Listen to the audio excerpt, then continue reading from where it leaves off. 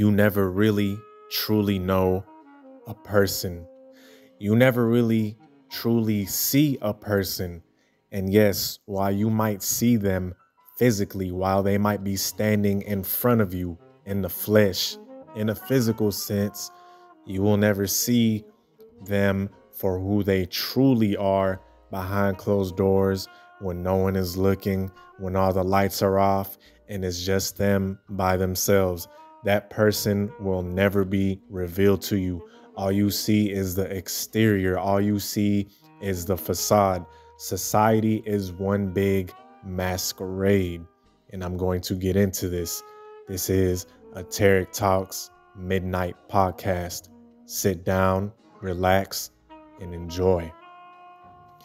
The person that you are currently talking to is only a shell of themselves. You are only seeing the exterior, only the tip of the iceberg. Because an iceberg, you only see 10% of it above the water. The rest of the 90% of it is hidden deep, miles and miles and miles down into the ocean floor. This is exactly how the human psyche is. This is exactly how it is when you are talking to a person. Yes, you might know them, as in you might know who they are to the world, but you don't know them internally. You don't know them. Because, as an old Japanese quote said, and I am just paraphrasing, people have three faces the first face is for the public to see. The second face is the one that family and close friends see. The third one is the one that only the person sees. The third face is the one that is buried deep down within the recesses of a person's thoughts, of their mind, of their consciousness and this face can actually be very scary. In a lot of cases, this is why it is kept deep down in the recesses of their mind. And this goes for everyone, no matter how pious, no matter how holy, or no matter how clean cut and cookie cutter someone appears to be there is always that side that people do not see. And it is like a stranger lurking in the shadows. This is exactly what it is akin to. It is like somebody lurking in the shadows. You do not see them. And we see this a lot. We sometimes see these people's true self come out. And there are plenty of examples. For example, and of course, we have social media now. And in modern terms, you could almost say that social media is a fourth face, right? Because we are, we said in the beginning with the Japanese quote that there is three faces that a person has. Well, nowadays, there is four with social media. And this is an extension. You can say it is an extension of the public face, you know, the face that people show to the public. And a prime example of this is the picture perfect couple. And this is just one example. This is just one example of many. We have all seen the perfect couple on social media. We have all seen this meme plenty of times if we have been on social media long enough.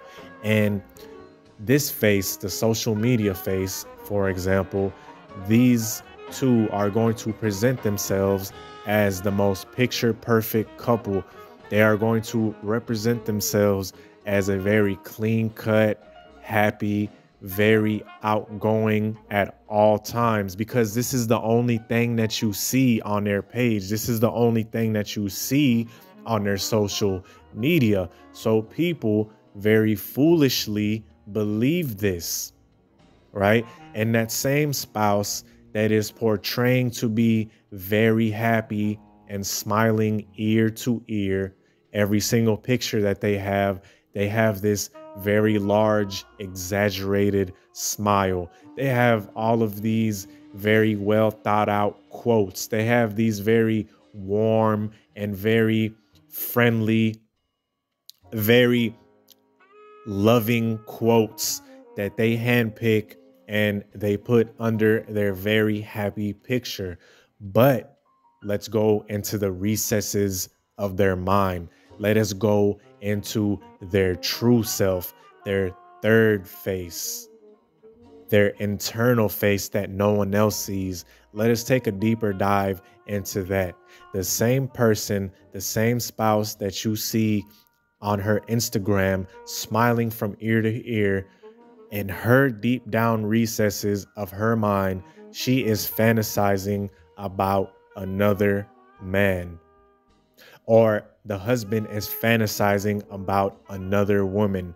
And on top of that, she has actually engaged in adult in adultery, in adulterous behavior. She has already cheated on him multiple times. She has done things that would make the husband's stomach turn upside down. Or he has done things that would shock his wife. They almost have a double life because, see, the life that they portray to the world, the life that they portray to the media, is that of a very happy go lucky, very loyal, very cookie cutter family or partnership. But in all reality, the true self is the complete opposite. They are probably, she is probably not happy. She is probably not loyal. He is probably not happy. He is probably not loyal. And the lifestyle that they engage is so shocking if it was ever to be found out. It is so shocking because they have been portraying this face this whole time. They have been portraying this facade for so long. So when their cover is blown, when their true self is shown to the light because what is in the dark will come out in, into the light. People will be taken back. They will be shocked. They will be in awe. These two might have had a life that was so opposite, that was so contrary to what they portrayed. It is almost unbelievable. This wife that takes all of these pictures with her happy boyfriend or happy husband and her kids. She might be participating in activities that will be unbelievable, that would be unfathom- unfathomable to the human mind. This husband that is portraying this whole facade of a happy husband and he's very caring, which he might be, which he which I'm not saying that he is faking the love for his children. No, and matter of fact, they these people they do love their children most of the time, right? But the whole facade, he in in all reality is living a double life. He has multiple mistresses.